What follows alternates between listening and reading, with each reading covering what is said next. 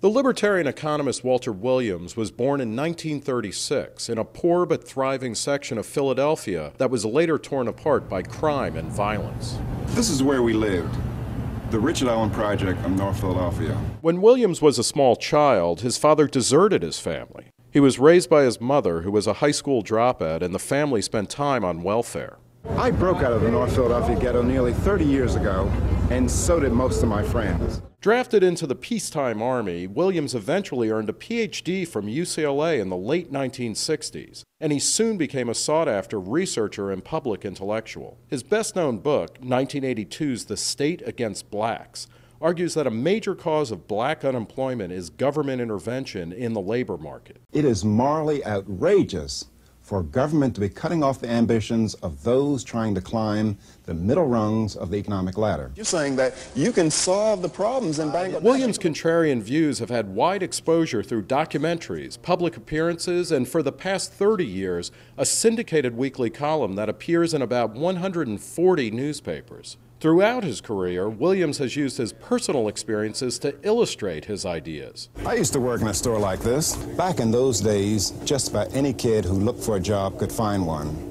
Today, in ghettos like I grew up in, 70% of black children who look for jobs cannot find them. His new book, Up from the Projects, an autobiography, is a fascinating look at his childhood, his half century long marriage to his recently departed wife, his unusual career path, and the genesis of his views on race, economics, and politics. Reason TV spoke with Williams, an emeritus trustee of the Reason Foundation, at his office at Virginia's George Mason University. Walter, thanks for talking to us. Thank you. You were growing up uh, in Philadelphia. You spent time on welfare. You were raised in a single parent household. How does where you're from show up in where you are now? Well, I, am not sure. I, uh, you know, as a as a youngster, I never even thought about being a college professor or or a libertarian. I was always a uh, a radical, a troublemaker, a person who questioned the uh, the status quo.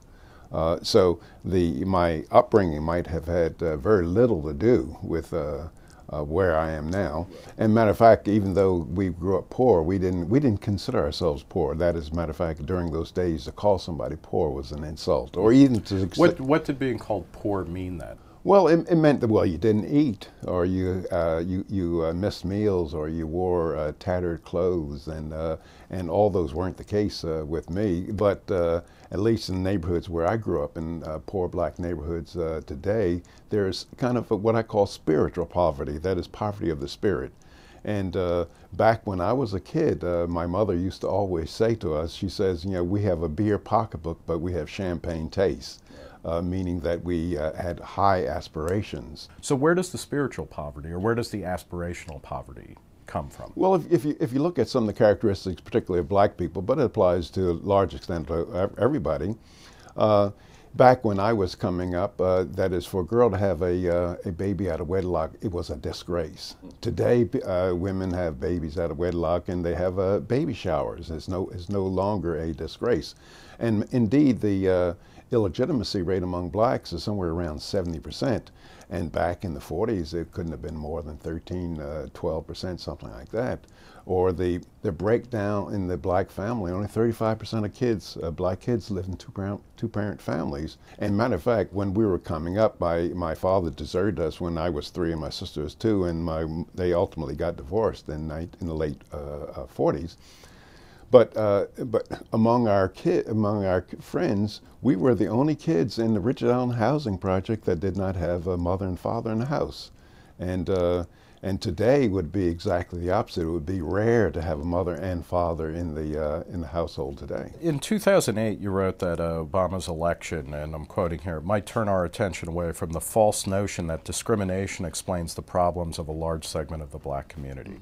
Uh, has that happened I don't think uh, uh, Obama's presidency didn't hasn't meant very much for the black community. I don't see any big change. I don't see lower crime rates. I don't see more greater high school uh, graduation uh, rates. Uh, uh, and and but in general, I, I don't think that there's much progress that blacks can make through the political arena. And now, what do you mean by that? Because this is You know, I, I think most uh, people, most observers, whether they're black or white or uh, you know European, whatever, would say that you know that a lot of black progress has be been because of Civil Rights Act, because of changes in de jure if segregation. you look, if you ask the question, uh, you look at our country and you ask the question, in what cities do blacks have the uh, highest crime, suffer the, from the highest victimi- victimization rates from crime, the, the, the rottenest schools, the, the very, very poor living conditions,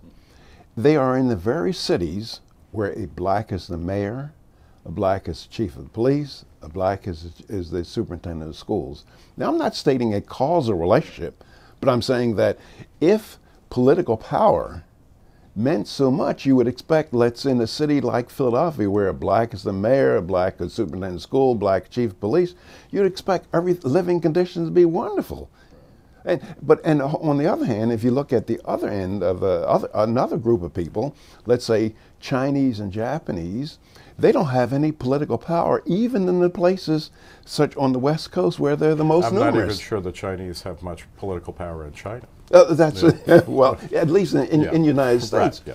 But however, according to uh, uh, statistics, uh, Japanese or Chinese are in, in on any measure of socioeconomic success, they're at the very top. And and matter of fact, if you look in our history of our country, uh, the Irish uh, had the greatest political power, and but they're the slowest rising of any of the white ethnics ethnic groups in our country. So I think it's false to assume that that economic power depends on political power, and you can just go all around the world. My colleague Tom Sowell has done uh, extensive work on. You know, the Armenians in the post-Ottoman Empire, they didn't have any political power; they were discriminated against, but yet highest income earning people. Yeah, Jews as well throughout various subsets. Yeah, and, the Chinese and immigrant Southeast Chinese, Asia, yeah. If it's not political power that will help advance uh, living standards and quality of life, how do how do you? Uh, I mean, it's economic power then, right? You have to develop skills and training. And the, one of the reasons why people make low wages is, for the most part, they have low skills. But but but uh, getting again getting hold of the political system, or or even eliminating every vestige of discrimination, is not very important for economic uh, advancement. I mean, if you look at the question. At one time, there were no blacks in the in the in the uh, professional basketball.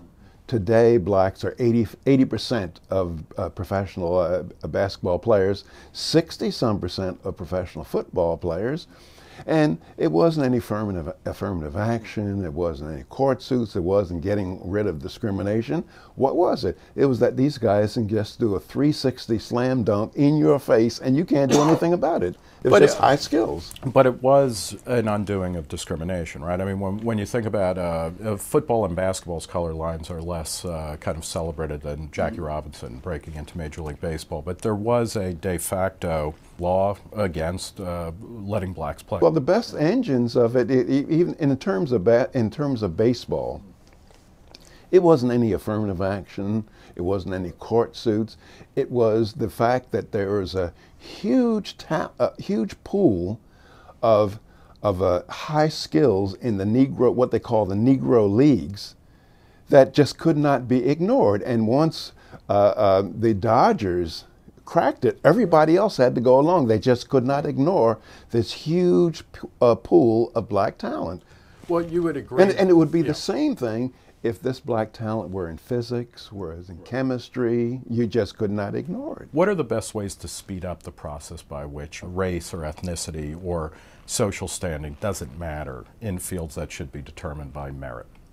Mm, well, If, you- if it's not laws. Well, well, per, well. Personally, one of my strong values is freedom of association, and when if you believe in freedom of association, you have to accept that people will associate in ways that you find offensive, and I believe people have the right to discriminate on any basis they want, so long as they're not using. Uh, uh, a government so long as they're not using, uh, you know, for example, I would disagree that a library would, uh, should be able to engage in racial discrimination against me because right. I'm a taxpayer. So a I'm public support, library, but yeah. a private library? Private library. The, the no, David i Duke Memorial Library, they can keep I you no, out. I have no problem whatsoever. And, and see, discrimination is, is, is, is, is, actually, for me, discrimination is just simply an act of choice. And, and we all discriminate. When, when, as I tell people, that when I was choosing a wife to marry, I didn't give every woman an equal opportunity. I discriminated against Japanese women, uh, Italian women, women with criminal records, women that did not re- bathe regularly. I discriminated in all. Did you also you discriminated against women who uh, refused to return your phone calls? I assume. Well, we didn't have a telephone, but but but the, but the, no, but the point is is that that people have the right, in my opinion, to associate in any ways they want. But, however, they should not get subsidized. Now, there's a whole lot of laws on, on the books that subsidizes discrimination. For example, the minimum wage law mm-hmm. that subsidizes uh, engaging in racial discrimination. But then in, in the book, you also talk about when you were drafted into the Army and you ended up going to Georgia for an assignment. That was the first time that you met up with a de jure segregation in, in the Deep South. And uh, you mentioned going through bus stations and whatnot where there were, you know, colored only uh, restrooms, black only mm-hmm. restrooms, restaurants, etc. What is the best and most efficacious way to break down state sponsored discrimination? Well, you, d- you do it by the law. Because I, I, I think that states do, uh, states should not be able to dis, uh, uh, engage in discrimination, and you, you do it by any means any means that's necessary. Mm-hmm and to get rid of uh, state-sponsored discrimination, and including just disobeying the law. And I think that one of the things, the, the very fact that you do find state-sponsored discrimination is good evidence that that maybe discrimination would not exist. That is, if you see a law on the books, well, the reason why that law is on the books is because not everyone would behave according to specifications of the law. And so if you say, well, if you see a law saying, well, blacks have to be uh, uh, have to sit in the back of the trolley car, well, you say, well, why do you need a law? If if the trolley cars are privately owned, that's what they were when the discrimination started in our country. Well, the and private uh, streetcar companies would not discriminate against the customers, so the people who wanted discrimination uh, needed a law. So, where does that bring you in terms of uh, a variety of the civil rights acts that were passed in the late 50s through the mid 60s? Were those good laws? Were the civil rights acts good and necessary ways of breaking down? No, no. I, th- I think the Civil Rights Act was a major error. That is, during the 1960s, when we had the civil rights movement, I think all that we needed was the uh, a law that said that the Constitution of the United States applies to each and every citizen in our country, right. as opposed to making a Civil Rights Act, as you know, as mm-hmm. they in fact did. You know. You mentioned in the book that uh, both when you were hired as an economist at Temple and then again at George Mason, that you sat down with your uh, the people who were hiring you and said, "Hey, if you're practicing affirmative action, I don't want any part of this." Mm-hmm. Um, what, were you a beneficiary of affirmative action, and if so, uh, you know, how did you deal with that when you found out about it, and what were what was the effect of that on you? Well, I, I, um, I understand at, at, Temple University I did not run into the problem, but at George Mason University, I think uh, after I'd been here quite a while, the and the uh, the former chairman who hired me, he said that he got good, he got, he got beneficial points right. from hiring me and, uh, and and Karen Vaughn, my colleague who's a uh, who's a woman. Right. And, um, and, and later on, Karen Vaughn, who was here before I was, uh, she told me that uh, that if if Bill Snavely, Bill Snavely was pr- practicing uh, affirmative action. They weren't. He he didn't get the right kind of black. Is it tiresome to talk about yourself as the libertarian black? You know, well, I, I, look at people. Uh, I don't see colors. Uh, I, I don't judge people by colors. Uh, I say that, well, gee, you're you're you're a man just like I am, and um, and and whatever whatever you are after that. That's what my uh, stepfather used to say. He says every man stands up to piss, and he's whatever he is after that. Do colleges still practice affirmative action uh, for racial admissions, and should that stop? Well, I think I think it definitely should stop, and and and, and, and most college. Oh yes, yep. most colleges do. Increasingly, there are reports that affirmative action is being practiced to bring men into campuses because women tend to do better on SATs. Is that equally bad? Well, I, I think that if, if it is a private university, private universities would have the right to do, in my opinion, they have the right to do anything they want in terms of, uh, of, of uh, admitting students public universities, I think they ought to be constrained by the uh, law that they just cannot engage in any kind of a. a what about private schools that are uh, so heavily subsidized either by federal research dollars, student loans? I mean, then then, are, then they yeah. are in effect the government schools. Right, right. Uh, the, uh, and so and and if they're heavily subsidized, and which I first thing I would do, I'd get rid of the subsidizing and then let right. them behave any way they want to. In the book, you said that uh, people like Jackie Robinson and Wilt Chamberlain had made it safe for the NBA and Major League Baseball to hire incompetent blacks such as you so that you could now pursue a career in baseball or uh, basketball. Do well, what, what, I, what I meant by that example, I was telling a group of students, and it was indeed at Temple University, and I was saying that uh, I would love to teach a course in physics. I love uh, subatomic uh, physics, but I was saying that black people cannot afford for me to be teaching a course in, uh, in physics. And I was saying that I was giving an example of basketball that uh, and baseball because of the excellence that uh, of, of Jackie Robinson or Wilt Chamberlain and Bill Russell that I can now go play basketball and I can mess up royally and there's not a person in the audience can say those blacks can't play basketball. That is, in that sense, I meant that black that uh, black people can afford incompetent basketball players, but they cannot afford afford incompetent physics teachers. Now, do you think? And that's that and the same thing applies to. Uh, I wrote a column about uh, about uh, Obama. That is, uh, uh, black people. I said I don't think that they can afford for the first black president to be a failure, and he has every indication of being a, a failure, like the Carter administration. Well, but do you think? Uh, I guess that's the broader point: is that between 1954 and now, race relations have clearly changed, yeah. and most of the most odious, obvious excrescences of racism mm-hmm. are gone. Are we past race, or will we ever be past We're race? We're not past it yet. Yeah. That is a. Uh, um, uh, you, you, know, I, I, think we've come, you know, Americans have come the furthest distance uh, among any group of people in solving uh, uh, the problems of race in our country.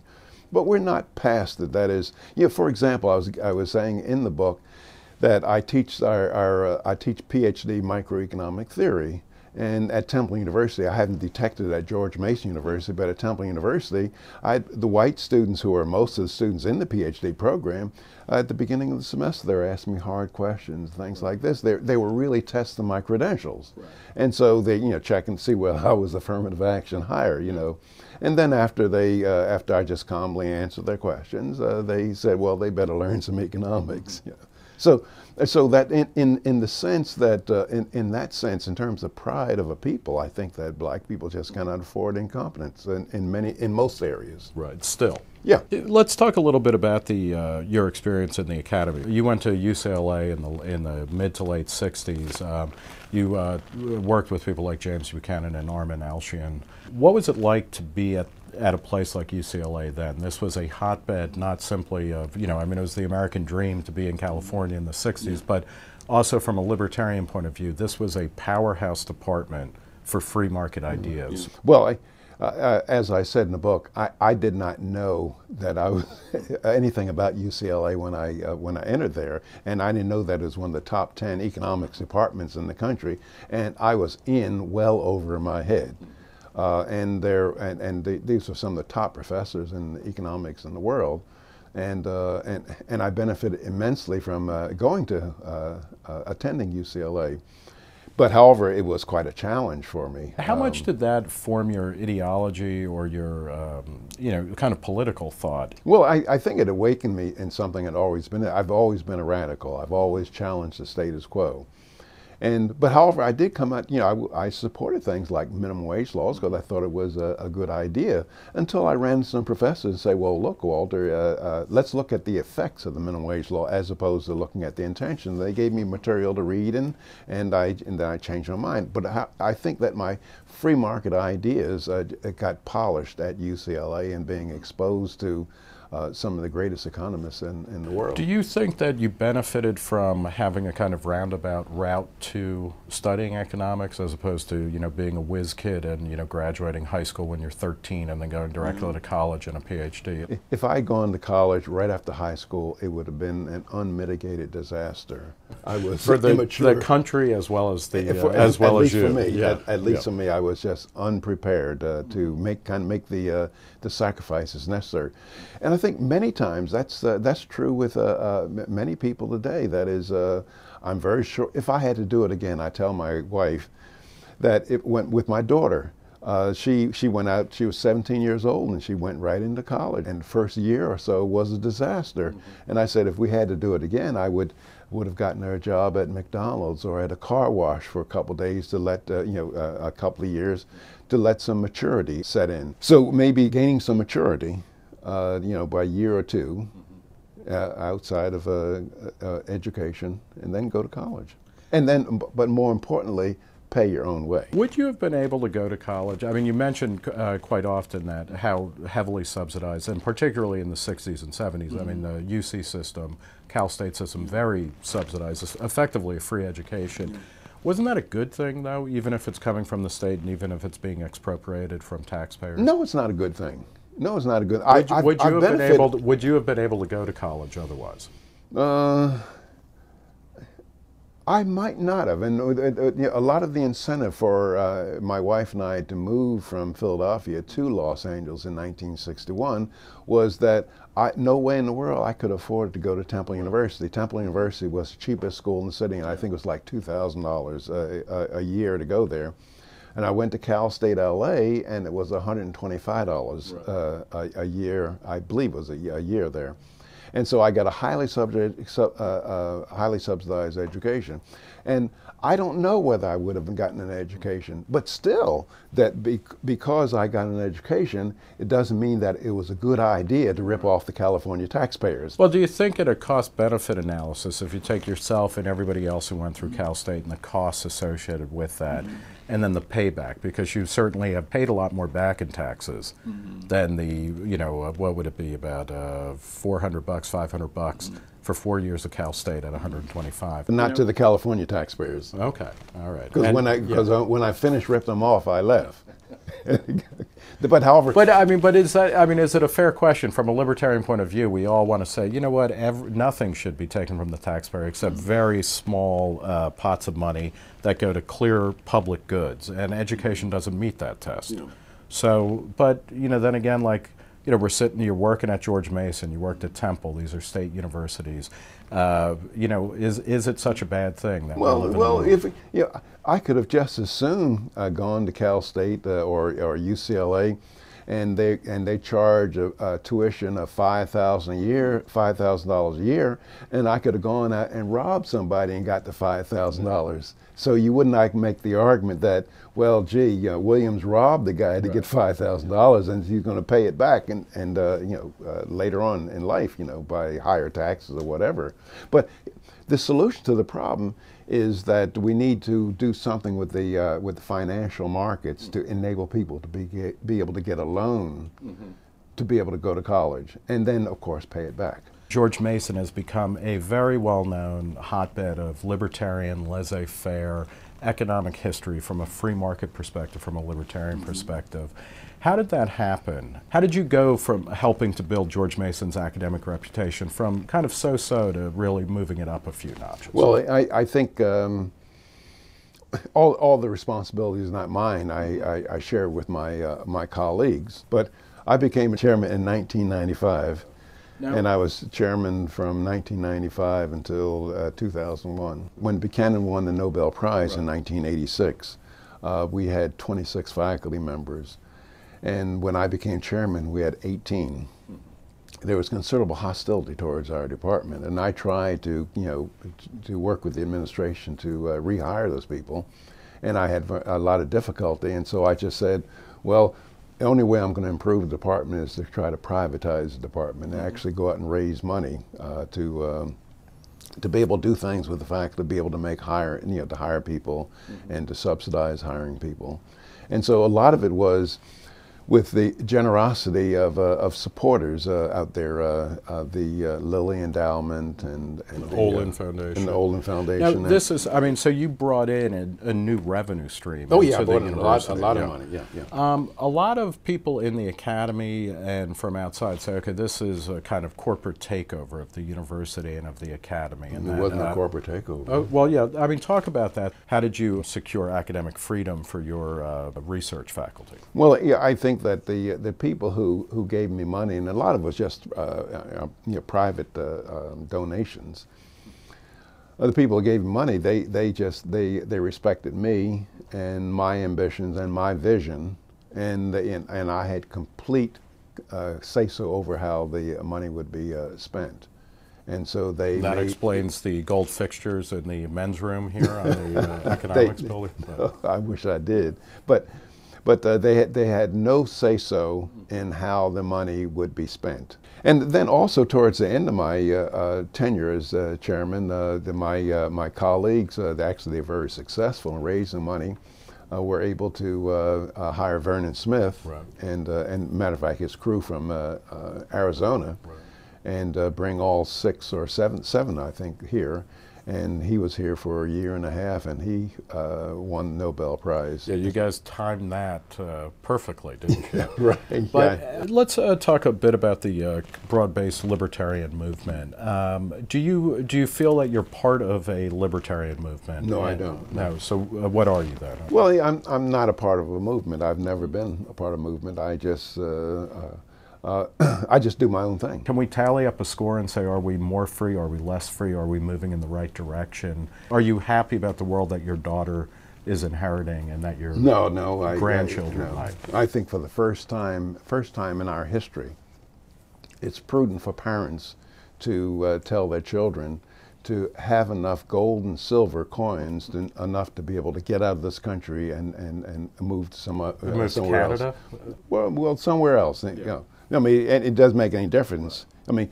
for example, Jews in Austria, I mean, they should have had enough money to get out, and it didn't make any difference where they moved. Right. You know, so the point is, is that for the first time in our history, uh, people are considering leaving United or taking their wealth out of the United States, where all before United States was the bastion of liberty and, uh, and, and, low regulation, and people are bringing their wealth to our country. So I think that we have to uh, uh, uh be concerned what about needs, losing our liberties. What needs to happen for that to reverse? I mean, and it's one thing to say, okay, we got to reduce regulation, but what are what are the kind of policy steps and the the kind of psychological or ideological steps that need to happen? I don't think I don't think anything's going to happen. I think what I think what one has to ask himself is uh, are, are we so arrogant as American people to think that we are different from other people around the world? That is, do we, or how different are we from the Romans who went down the tubes, or the British, or the French, or the, or the Spanish, or the Portuguese? These are, uh, these are great empires of the past, but they went down the tubes for roughly the same things that we're doing. Liberty is the rare state of affairs in mankind's history. Arbitrary abuse and control by others is the standard dish, even now. And all the tendencies are is for us to lose, uh, have greater and greater amounts of our liberty uh, usurped by uh, government. If you press me for a trend in the opposite direction, because of the, the Obama administration, the Democrat control of the House and the Senate, they become they become so bold in many of their actions that for the first time in my life, Americans are debating about the Constitution with people forming the Tea Party movement and, and all this kind of fervor that I've never heard before in my 75 years of life. But is that enough or is it too late? And I'm not sure. Walter Williams, thank you very much for talking with us and for all of your writing and especially your new book, Up From the Projects and Autobiography. Okay.